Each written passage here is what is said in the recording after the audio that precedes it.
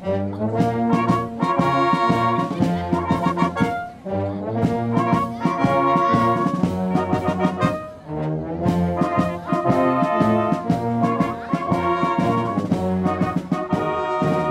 is alweer voor de 51ste keer Giesense Mert. En ook dit jaar staat er veel op het programma. De jaarmarkt, die, eh, er staan weer 120 kramen.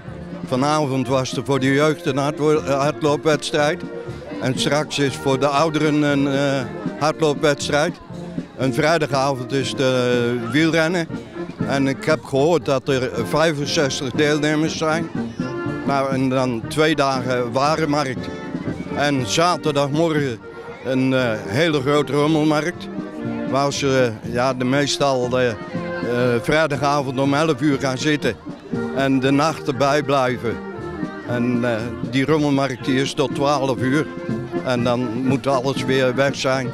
En dan is het gewoon weer ware markt. Burgemeester Noordegraaf vindt het belangrijk dat ook in de nieuwe Altena gemeente in 2019 deze activiteiten blijven bestaan. Belangrijk is dat je in de dorpen waar alle activiteiten nog steeds gedaan worden, dat dat blijvend is. Daar zijn we als gemeente natuurlijk zuinig op. Eh, en ook straks als de nieuwe gemeente Altenaar is, dan blijven we met dit soort activiteiten doorgaan. Dat is juist het eigene van elk dorp. De spectaculaire opening werd dit jaar verzorgd door de DDF-crew.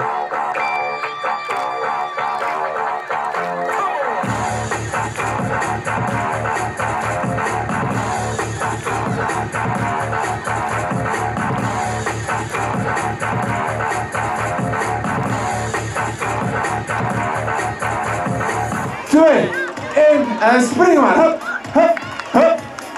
Ja, ja, kom maar snel springen. Hup, hup, hup, hup. Ja, dat is hem.